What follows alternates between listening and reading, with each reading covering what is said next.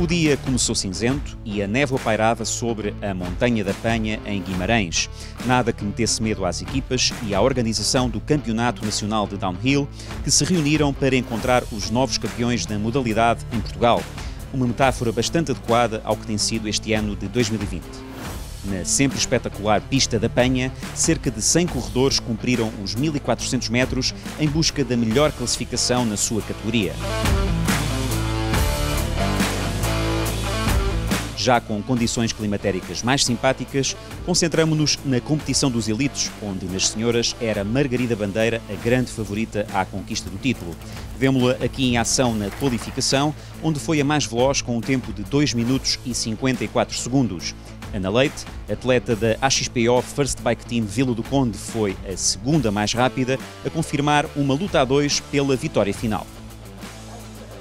Iniciada a manga decisiva, Margarida Bandeira imprimiu um ritmo forte e não deu hipóteses à concorrência. 2 minutos e 52 segundos foi o tempo final para a corredora do Montanha Clube Lausanne Park, que revalidou assim o título de campeã nacional de downhill.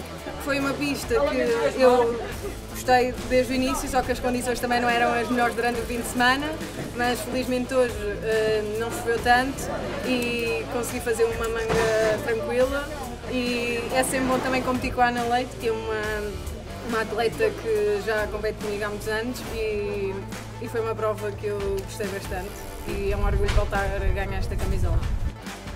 Nos elites masculinos, as atenções viravam-se para a disputa entre o campeão nacional em título Vasco Bica e Francisco Pardal, o português melhor classificado no ranking da UCI.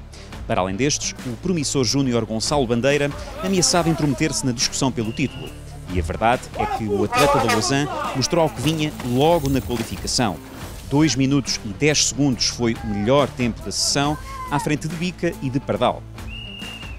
Na manga final, os três corredores melhoraram as suas prestações, mas este era o dia da consagração de Gonçalo Bandeira.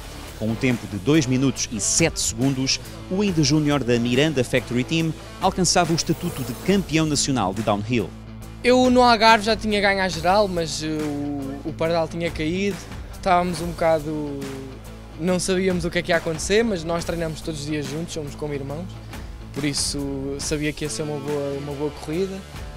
Não estava à espera, fiquei bastante contente, mas é para o que eu estou a trabalhar é para o Mundial e é tudo muito mais acima e é isso que vamos continuar para Len Léo Gang lutar pela camisola de campeão do mundo. Duas vitórias para os irmãos Bandeira em Guimarães, antes da derradeira prova de downhill do ano, marcada para Tarouca, no distrito de Viseu, a 8 de novembro.